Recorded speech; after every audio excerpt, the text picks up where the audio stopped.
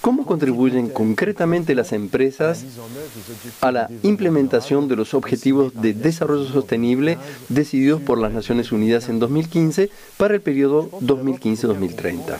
Ante todo, creo que es importante entender que los ODS son un marco de referencia sumamente importante para mostrar la relación entre las empresas, la sociedad y el bien común. Voy a explicarlo. Hoy en día el mundo de los negocios se ha visto sumamente afectado por la crisis de 2008-2009, que afectó a todo el mundo económico y mucho más incluso del mundo financiero y planteó interrogantes sobre su legitimidad.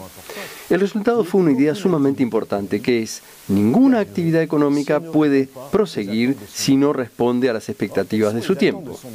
¿Y cuáles son estas expectativas? Ahí es donde las cosas se ponen muy interesantes.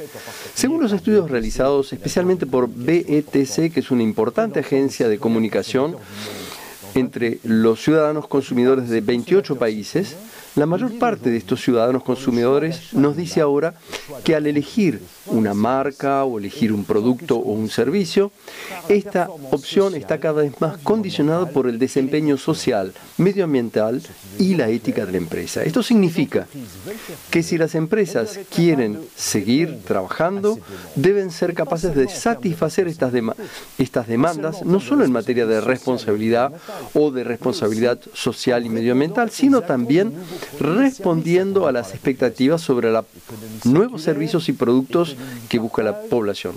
Economía circular, economía compartida, acceso de todos a los servicios fundamentales. Estos son elementos claves de la opinión pública en relación con las empresas. Además, el mundo de las finanzas no, está, no se equivoca.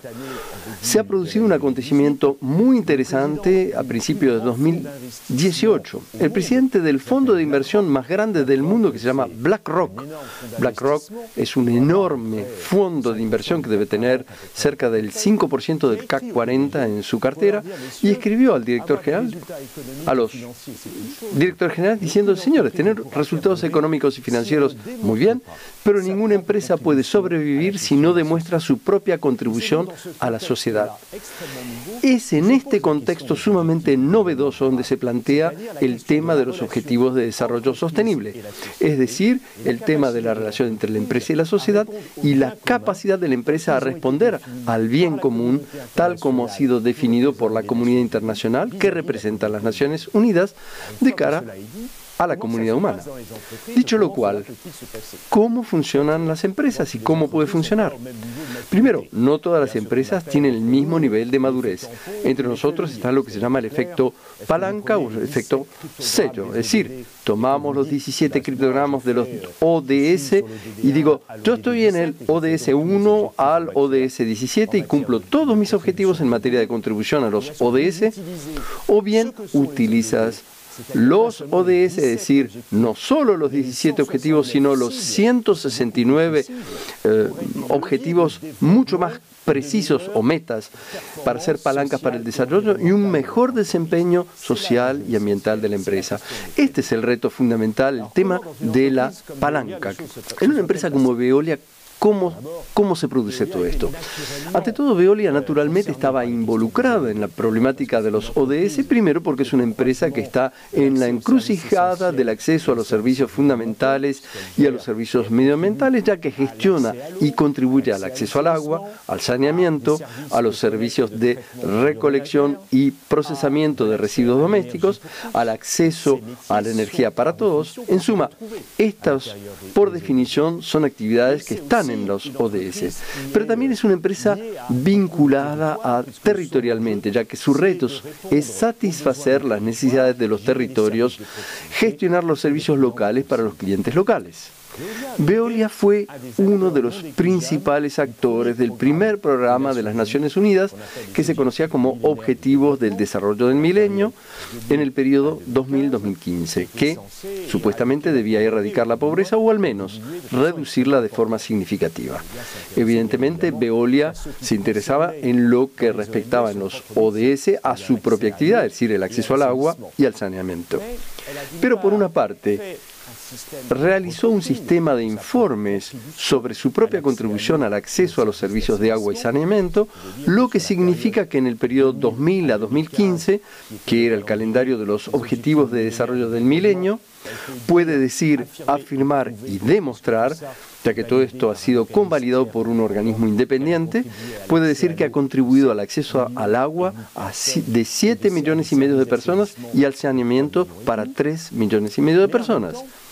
Y al mismo tiempo, teníamos que saber y entender que los objetivos de desarrollo sostenible no eran los objetivos de desarrollo del milenio era la fusión a la vez de los objetivos de lucha contra la pobreza y por lo tanto de la agenda de desarrollo, como decimos en los organismos oficiales, y de la agenda medioambiental, tal como fue creada en la cumbre de Río en 1992 y que se recordó en la cumbre de Río de 2012, ya que ahí es donde se crearon los principios fundamentales de los objetivos de desarrollo sostenible.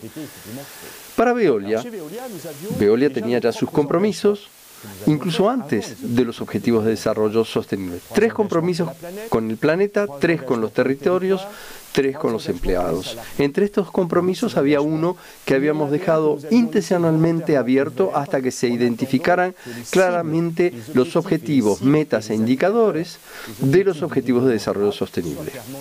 Cuando se dieron a conocer en septiembre de 2015, estudiamos el modo en que podíamos contribuir en tres niveles. Primero, a través de nuestra actividad tradicional, desde luego, el objetivo 6, que es la gestión del agua y el saneamiento para todos, Naturalmente nos encontramos con el objetivo 7, que es una electricidad sostenible, renovable y barata. Y obviamente también nos reconocimos en el objetivo 11, que se refiere a la ciudad sostenible, en la que somos participantes porque tiene un objetivo de recopilación y procesamiento de los residuos.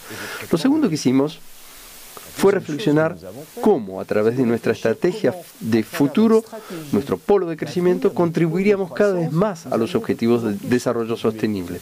Y en esto tuvimos dos objetivos fundamentales. Uno, sobre la innovación, porque somos una empresa innovadora, o más precisamente para satisfacer las necesidades del planeta en materia de servicios fundamentales, utilizar cada vez menos recursos, y este es un problema fundamental de los ODS, y para eso hay que ser innovadores. Y por último, el consumo sostenible, ya que Veolia se compromete cada vez más en una economía circular que representa hoy entre 17 y 18 de su volumen de negocios y lo que forma parte de uno de los nueve compromisos de Veolia con el desarrollo sostenible. Por tanto, hemos tenido en cuenta estos dos objetivos. Así que teníamos cinco objetivos que nos concernían directamente. Luego, preguntamos a todos los grupos de interés e interesados exteriores al grupo cómo nos veían en relación con esos objetivos de desarrollo sostenible. Pusieron el énfasis en el tema de la innovación, tema que ha vuelto como uno de los principales objetivos de Veolia y sin duda al nivel más alto que nosotros mismos queríamos poner. Finalmente, el objetivo de cooperación, el objetivo de desarrollo sostenible 17, que no tiene metas, pero que condiciona a todos los demás, porque el espíritu de los ODS no es que se apropia estos objetivos a través de una persona o actor, sino que todos los actores, el Estado, las comunidades, las asociaciones, las ONG y las empresas deben conjuntamente buscar las mejores soluciones para responder a los desafíos medioambientales y, sociales del planeta. Así debe considerarse los ODS dentro de la compañía. Es así que nos sentimos hoy más fuertes, el mundo de la empresa está cambiando, el mundo de la empresa está entendiendo que siendo socialmente eficiente, medioambientalmente eficiente y teniendo en cuenta las necesidades del planeta y de la población, la empresa será más legítima y más legítima, podrá crear valor y el tema futuro será cómo compartir este valor entre todos los actores.